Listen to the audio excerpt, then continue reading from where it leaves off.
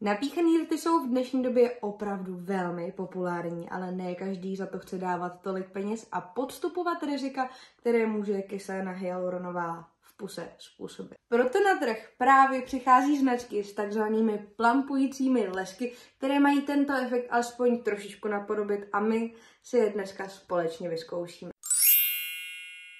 Ahoj, já jsem Majra a dnes budu testovat pět plampujících zvětšovacích lesků, které mají být dobré, protože jsou dost vyhypené na TikToku a na konci videa ti řeknu, jaký z nich je ten nejlepší. Pojďme si proto představit naše soutěžící. Mám tady pět lesků, u kterých budu hodnotit, jak pálí, jak jsou příjemné, jaký dělají efekt a zahrneme tam i cenu, protože přece jenom já to mám tak, že tyhle lesky nemám až tolik v a radši si narty, když už si za něco připlácím, připlatím za něco, co mi ty rty vyživí a nějaké opečuje.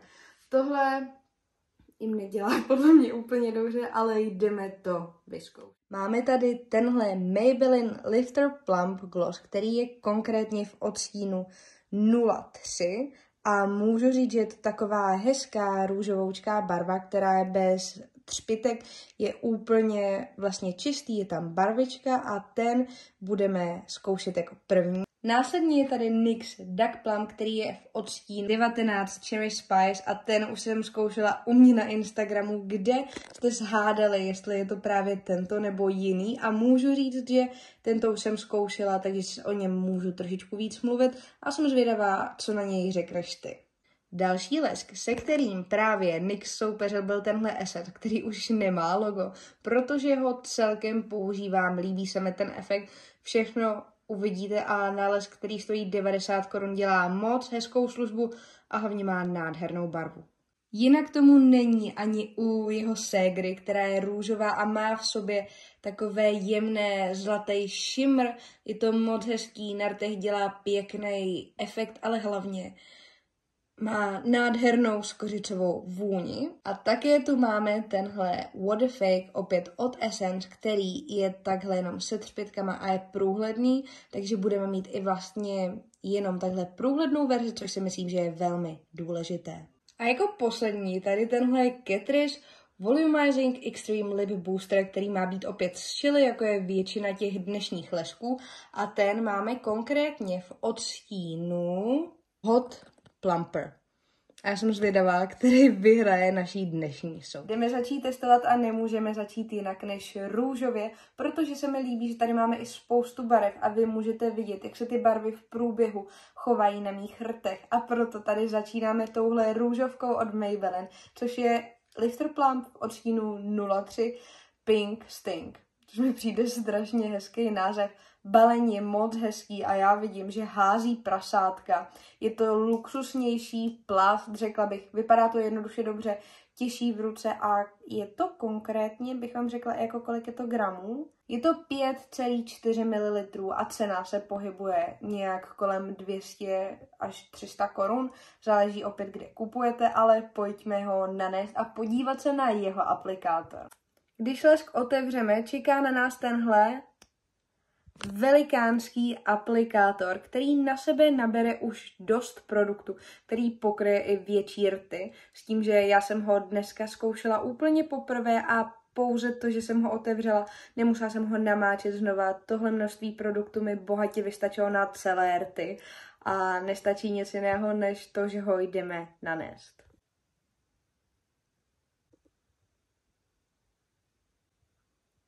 Lesk jsem právě teď nanesla a v tuhle chvíli už začínám cítit nějaké pálení. Můžu říct, že když to nanesete, tak během pěti sekund se nic neděje, ale mně přijde, že čím víc mluvím, tak tím víc se to nějak vlastně aktivuje a začíná to pálit. Dneska jsem si tenhle lesk vzala, než jsem šla i ven s Facecam, protože mě zajímalo, jak se to bude chovat. A můžu říct, že pálí opravdu dlouho teď mě hodně, nebo spíš největší pálení a není to nic nepříjemného. Je to vlastně takový páleníčko, který je jako jemňoučký, i když teď to teda začíná takhle tady nahoře, jako by jenom v té kontuře těch rtů. A postupně to jako začíná.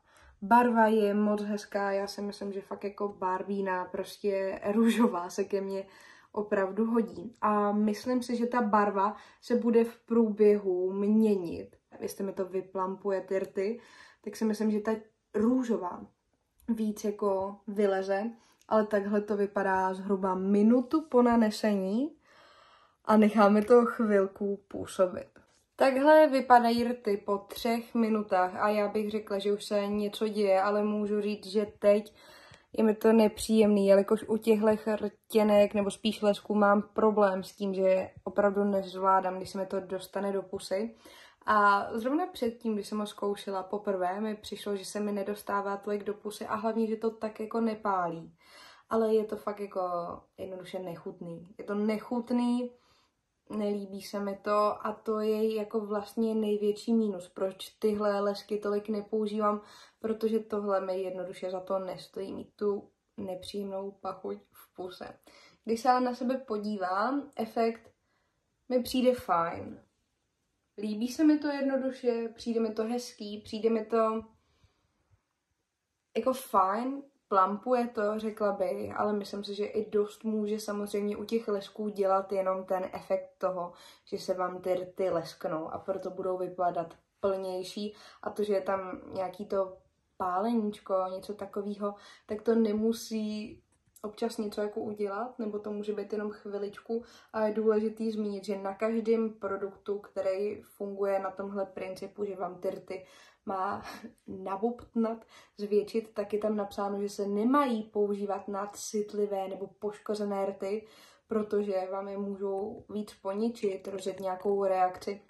Takže je důležité být opravdu opatrní, když tohle používáte. Lesk na sobě má momentálně už nějakých 20 minut, pořád trošičku cítím, neřekla bych už nějaké štípání nebo takhle, jenom cítím, ještě trošičku jakoby ten efekt hodně v konturách rtu a přijde mi, jako nevidím tam asi nějaký efekt. Když se takhle podíváš zblízka, tak mi přijde, že ty kontury jsou takový víc načervenalý a to právě může být ten efekt, který ten lesk slibuje. Vypadá to hezky. A teda takhle vypadá, když se i podíváš vedle mě, tak tam máš, jak vypadaly ty rty předtím a jak vypadají teď. To jdeme sundat a uvidíme, jestli nechává nějaký tint. Takhle vypadají rty potom, pořád to tam trošku cítím. Ale bych zhodnotila zatím, že mi přišel klasicky, to pálení není až tak extrémní, jako si myslím, že je u jiných a vypadal dost hezky. Do dalšího lesku už se mi ale tolik nechce, protože tady vím, že je to pálení už trošku horší, nepříjemný a už jsem o tom dost mluvila u mě na Instagramu, kde najdete třídílnou sérii o tom, jak jsem tohohle ďáblíka zkoušela. Protože tohle je NYX Duck Plum v odstínu Cherry Spice a prosím vás, nabírá dost produktů, nelíbí se mi jednoduše ten aplikátor tolik a pojďme si ho nanést. Už takhle, když si k tomu čuchnu, tak to fakt smrdí. A cítíte hodně cherry a chili.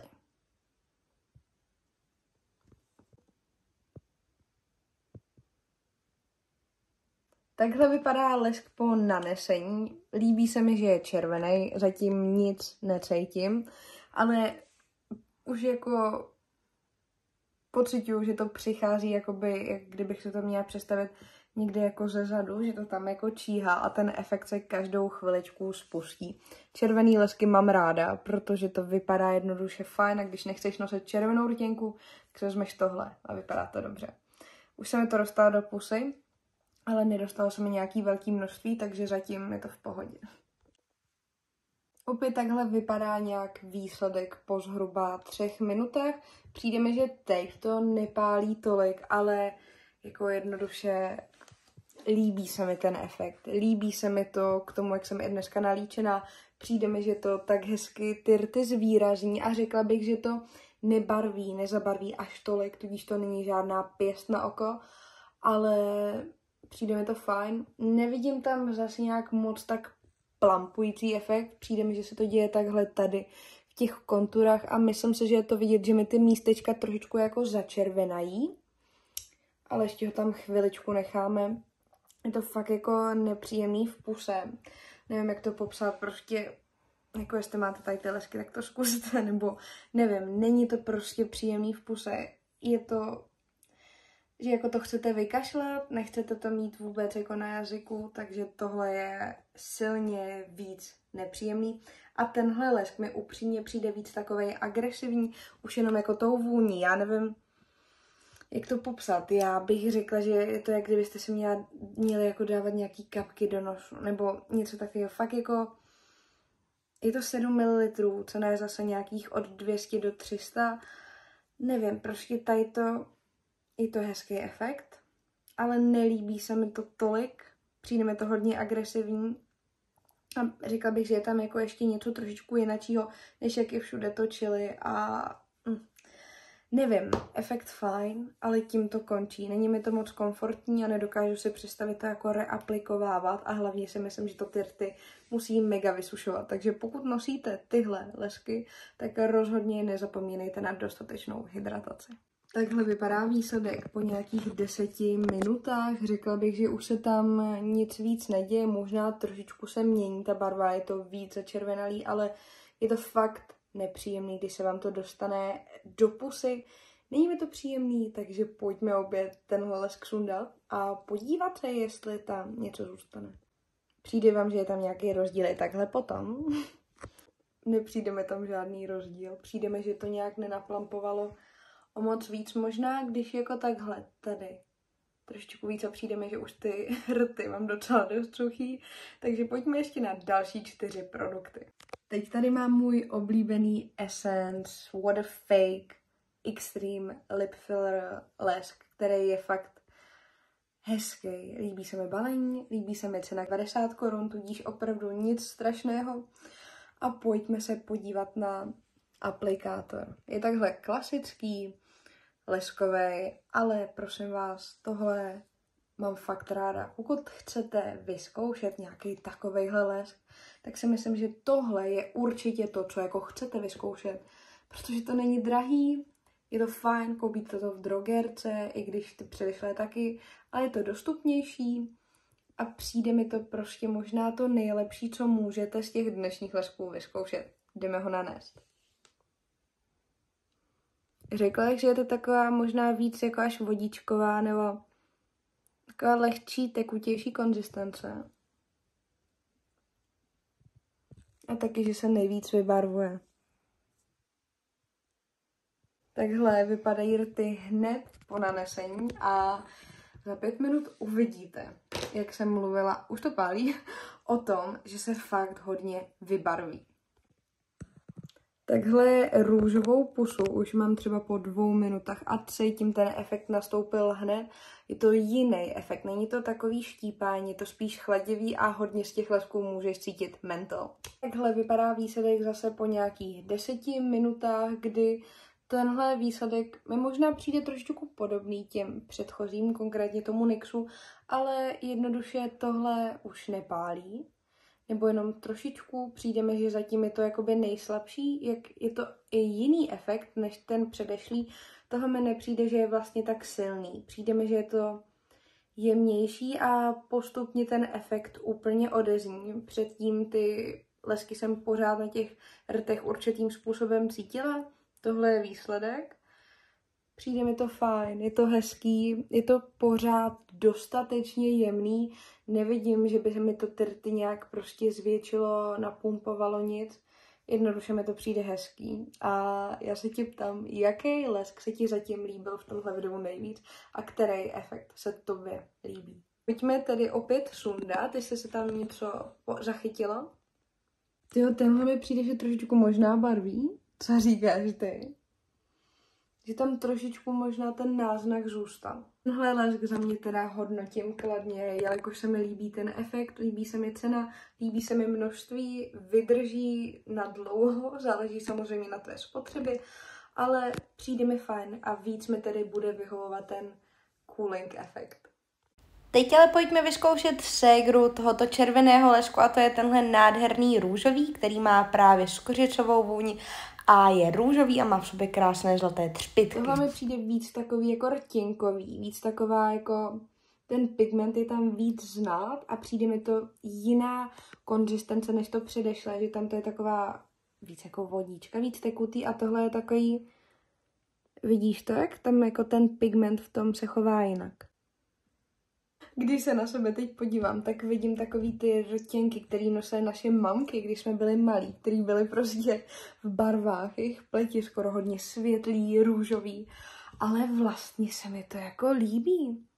Není to jako růžová, úplně růžová, protože mi přijde, že je v tom nějaká jako béžová nude a opět hodně studící efekt, cítím, že to jako chladí, není to tak jako nepříjemný, než ty předešlý, tohle je mi jednoduše jako příjemný a vidíme v tom i ty třpitečky, co? Vidíš tam jaký třpitečky? Tohle je fajn. A tohle se mi taky líbí. A přijde mi, že mi to i sluší k podtónu pleti, takže tenhle odstín je pro mě fajn. Už jsme se ukázali dva z této edice Essence a zbývá tenhle poslední, který je čirý. Viděli jste růžový, viděli jste červený a já mám radost, že se můžeme i porovnat, jak vypadají jednotlivě. A teď jdeme na tenhle skoro průzračný, který v sobě má třpitky. A já si myslím, že problém těchto lesků je to, že občas vypadáte jak mrtvoly, protože to jednoduše zanechává takový ten bílej film na těch rtech, ale pojďme na to.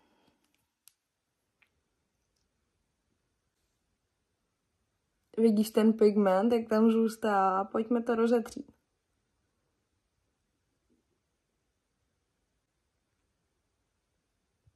Víte třpitky. Já jsem tenhle lesk moc nenosila, i když ho mám taky doma.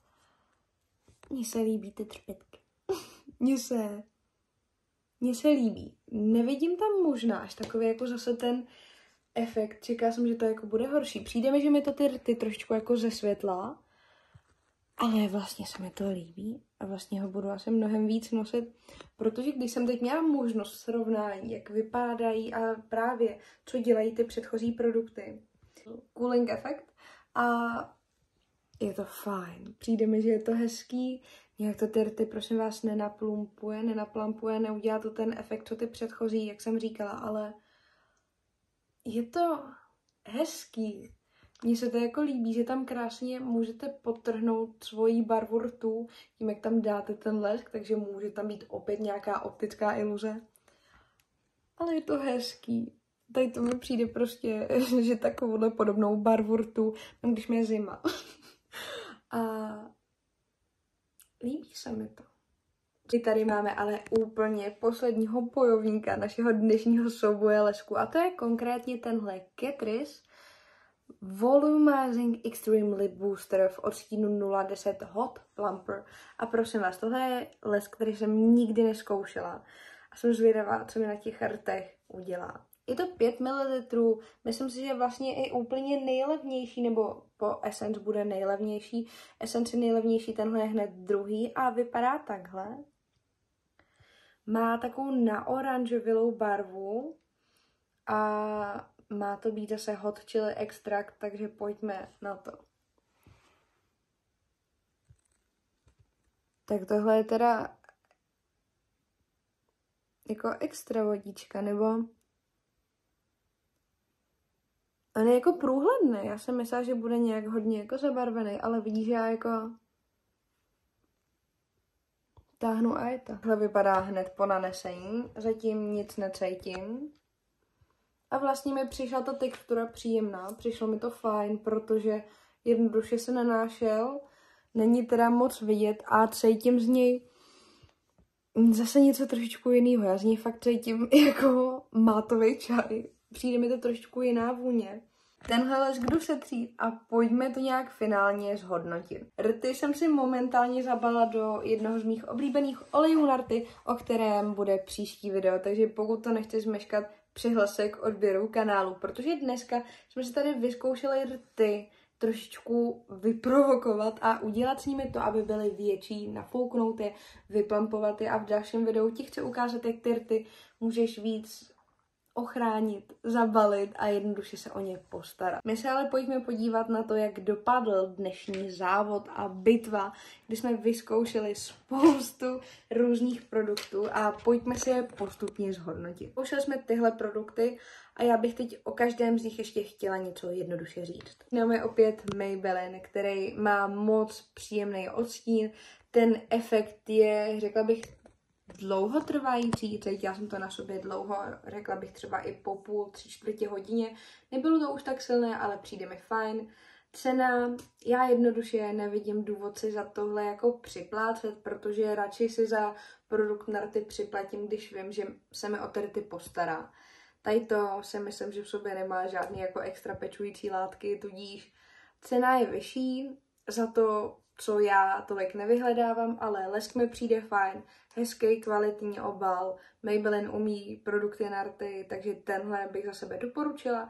Není až tak agresivní, takže tohle si myslím, že je fajn. A pokud budeme hodnotit pomocí kocourů, tak když máme nejvíc 10 kocourů, tak tenhle Tenhle by dostal srodních 8 až 9, protože mi přijde opravdu fajn.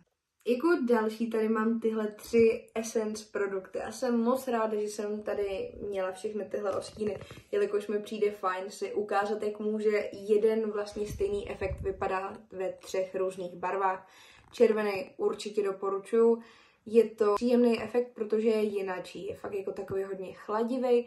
Není to taky tak příjemný, když se vám to dostane do pusy, ale dá se to přežít, je to jak trošičku vás spálí jazyk, ale není to tak silný a proto tyhle mají za mě fakt asi 9. Tyhle mají za mě fakt jako asi 9. Je to příjemný, vypadá to hezky, je to cenově dostupný. Další je tenhle Duck Plump od NYXu, který je v odstínu Crazy Cherry nebo nějak tak, Cherry Spice. A já tenhle lesk je pro mě prostě náročný, je to hodně nepříjemný, když se vám to dostane do pusy a efekt je hezký, je to 7 ml, takže jako fajn, ale nemyslím si, že tohle je něco, co ve svý make-up taštičce potřebujete, ten efekt mi přijde vlastně jako podobný, nebo nenaplampuje to tolik jako ta Essence, ale ušetříte koruny a není to prostě, není mi tohle příjemný, když se mi to dostane do pusy, tudíž mi to snižuje komfort toho nošení, takže tomuhle bych dala tak pět. Fakt jako víc ne. Dělá hezký efekt, není to ale příjemný na nošení, tudíž tohle za mě spíš ne. No a úplně poslední les, o kterém vám tady povím, je tenhle od Catrice, který mě velmi překvapil svojí texturou, jednoduchostí nanášení a vlastně i tím efektem. Nebylo to nic moc, ale nevidím důvod, proč ho jednoduše nepoužít, protože to vypadá fajn a je to strašně jako příjemný na těch rtech, je to v tenoučký vrstvě, nemá to nějak extrémně pálivý efekt, je to jenom takový spíš opět peppermint, něco fakt jako hodně jemného, chladivého a ten mi přišel moc fajn a jednoduše líbilo se mi, že to ty rty jenom potrhlo, nezabarvilo, takže opět něco, co jsme tady ještě do posud neměli. Se ale ptám, co se líbilo tobě a který ten lesk, který ten efekt se ti líbil nejvíc, protože každý ten lesk má něco do sebe, i ten NYX vypadá trošičku jinak a vyplampoval mi ty úplně nejvíc, protože jsem viděla, že ty kontury mám začervenalé, ale pokud bychom se bavili o komfortu a jednoduše, jak to jako nosíš, tak mi byly opravdu velmi příjemné tyto Essence, ale taky i ten Maybelline. Pokud bych se ale bavila o tom, co vypadalo nejlíp, tak musím zvednout všechny, protože každý ten lesk měl něco do sebe, každý ten lesk vypadal jinak a každý ten lesk ty rty proměnil do nějaký jiný podoby, takže všechny mi přišly, že něco udělali, ale každý ve své vlastní podobě. Takže se mi to vlastně líbilo a tenhle test pro mě byl dost zábavný. V dalším videu ti ale ukážu to, co mám teď na puse a o svoje rty se se mnou pořádně postaráš, protože po tomhle videu je to sakra potřeba. Proto vítej na profilu Majra, kde ti ukazuju opravdu spoustu věcí, jak už z kosmetiky, která je na pleť nebo na vlasy a opravdu tohle nechceš. Budu se na tebe těšit u dalšího videa, měj se krásně a ahoj.